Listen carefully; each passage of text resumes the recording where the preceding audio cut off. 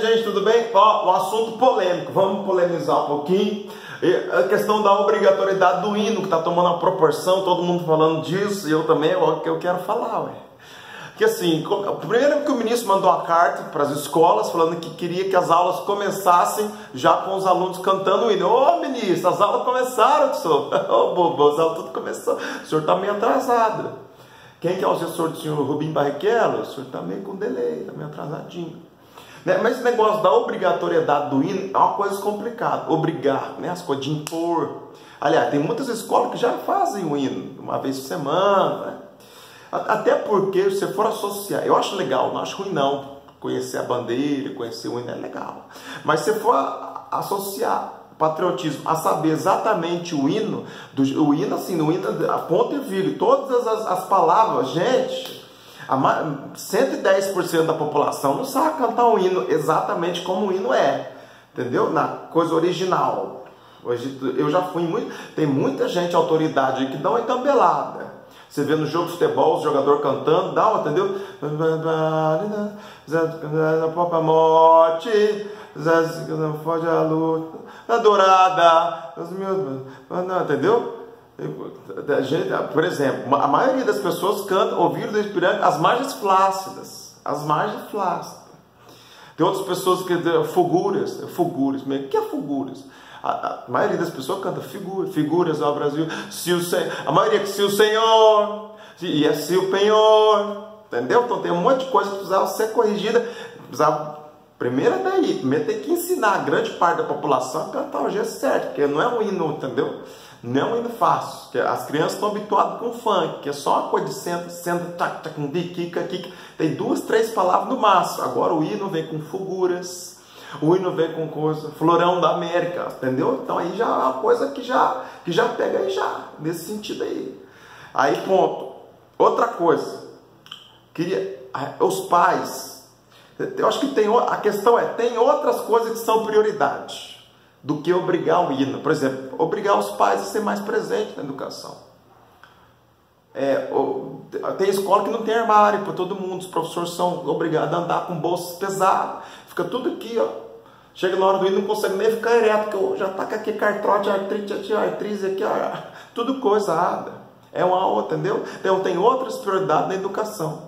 Os pais tinham, por exemplo, essa questão. Antes de ensinar um hino, vamos trabalhar os valores, que é respeito, amor ao próximo, honestidade. Isso vem de casa, mas os pais não são presentes.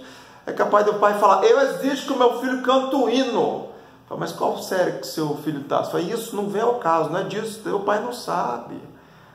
Que até a gente fica na questão do superficial. É capaz de você falar para a mãe assim: o que, que a senhora acha do seu filho cantar um hino? Eu falei: eu acho maravilhoso. Principalmente se for aqui do Zaqueu. Nossa, como eu gosto desse hino, menino. Ora, hora que o pastor Kreber puxa, ó, sinto meu coração como Zaqueu. Você entende? Se bem que não é de tudo ruim. Não é de tudo ruim. De repente você conseguir implementar um hino, um louvor na escola, até que é bom. Do jeito que a educação está hoje, os alunos respeitando, de repente você colocar um louvor ali, uma coisa para acalmar, uma coisa para tentar colocar isso no direcionamento ali, entendeu? Uma coisa ali para dar uma benzida, não é de tudo ruim. Imagina você reunir, reunir os alunos na sala e mandar ali, ó, Senhor, põe teus anjos aqui, Senhor, põe teus anjos, isso não é de tudo. A professora será abençoada, porque o Senhor vai derramar o seu. Olha que beleza. É, olha, fica a dica, também pode ser uma coisa. Mas a gente tem que tomar cuidado para não ficar na coisa do superficial. Obrigar o hino, beleza, tá, tá, eu, eu sou contra qualquer obrigatoriedade.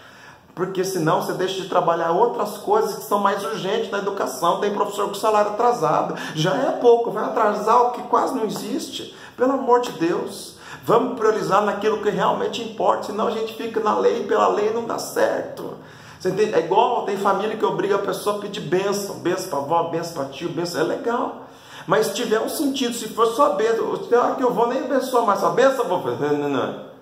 Bênção, avó, já não tem mais sentido. É igual sinal da cruz na frente da igreja. É legal, bacana, é um rito bacana, mas se tiver sentido. Se você tem gente que passa na igreja e faz aqui, ó.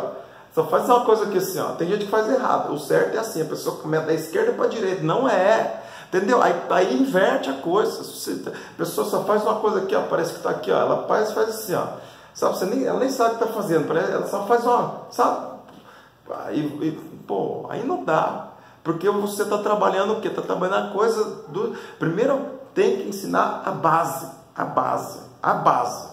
Então, vamos priorizar a educação, alfabetização, educação de qualidade, professores com respeito, ganhando bom salário, sendo valorizado pelos pais. Aí sim, depois, essa coisa do hino, essa coisa da bandeira, essa coisa legal. Sou contra, não. Acho que é importante que a questão do patriotismo é legal, bacana.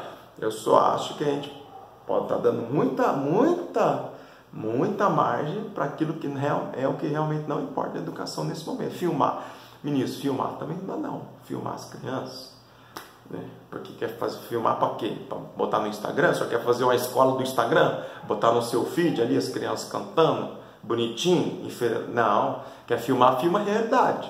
Então coloca, filma também os professores sendo desrespeitados. Filma também, entendeu? As outras coisas. Um material que falta, um EVA, que a pessoa tem que tirar dinheiro do próprio bolso. Tá? Então fica aí essa dica aí, essa reflexão aí, você entende? E podem, em paralelo, ensinar o hino, que é uma coisa que é demorada. Você ensinar uma palavra, bala, bala já é difícil ensinar bala, bolo, bola. Agora, imagine você ensinar fuguras. Fuguras ao Brasil, então, a gente começa a ensinar o hino agora. Quando eles estiver no EJA, eles estão cantando certinho já, tá bom? Beijo, compartilha esse vídeo e até comenta a sua opinião. Estamos aqui para dialogar. Tchau.